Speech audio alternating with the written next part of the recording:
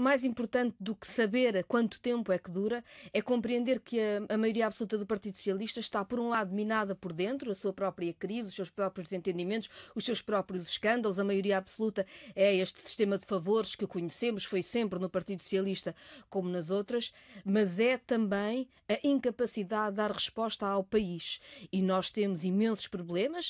as pessoas percebem como é cada vez mais difícil chegar ao fim do mês, ou seja, há uma enorme desvalorização dos salários e das pensões, há uma crise da habitação com proporções inimagináveis, eh, temos uma crise muito grande tanto na saúde como na educação,